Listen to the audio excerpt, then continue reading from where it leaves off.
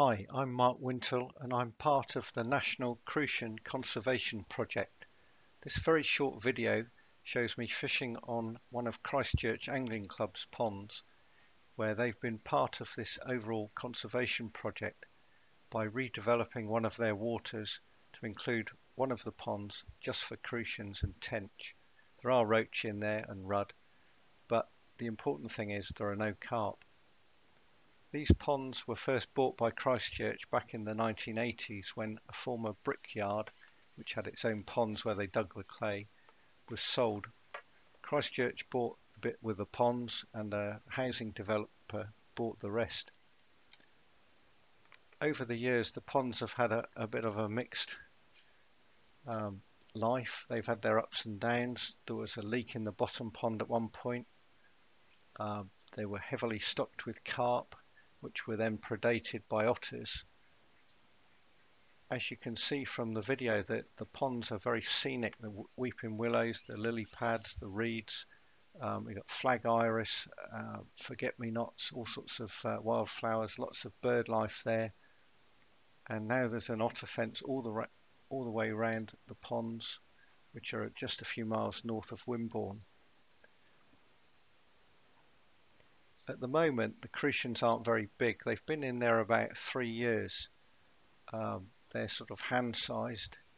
I'm not sure if they're breeding yet, maybe one day. Uh, apart from the crucians, you often catch tench, some of what we call bars of soap. They're uh, just a few ounces, very slimy, very slippery, um, wriggle out your hands.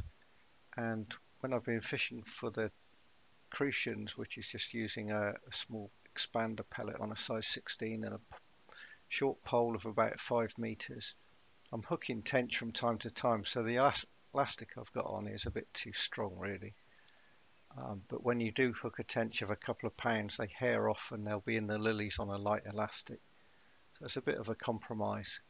Um, this particular evening I was only fishing a couple of hours. Initially I caught lots of small roach which the club would like to move into the second pond and quite a few tench. But eventually, after a couple of hours, the tench, uh, sorry, the crucians were feeding quite well. And although I caught more tench to start with, uh, I ended up with about 10 crucians, a bit like the ones that you'll see in a minute. It's good to see that some clubs are bothering to do this conservation with crucians. All too easily um, the work is undone by well-meaning but misguided people who put carp into just about every water even when they're not wanted. That's the last thing that we want in these ponds.